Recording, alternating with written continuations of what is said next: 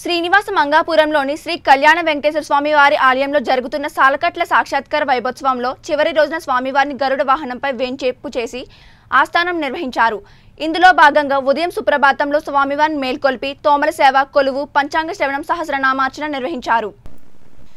ఉదయం పది గంటల నుండి పదకొండు గంటల వరకు కళ్యాణ మండపంలో శ్రీదేవి భూదేవి సమేత శ్రీ కళ్యాణ వెంకటేశ్వర స్వామి ఉత్సవాలను ఘనంగా నిర్వహించారు. ఇందులో పాలు పెరుగు తేనె పసుపు చందనం కొబ్బరి నీళ్ళతో అభిషేకం చేశారు. అనంతరం సాయంత్రం ఆరు గంటల నుండి ఆరు గంటల ముప్పై నిమిషాల వరకు గరుడ వాహనంపై స్వామివారు కొలువు తీర్చి ఆస్థానం చేపట్టారు.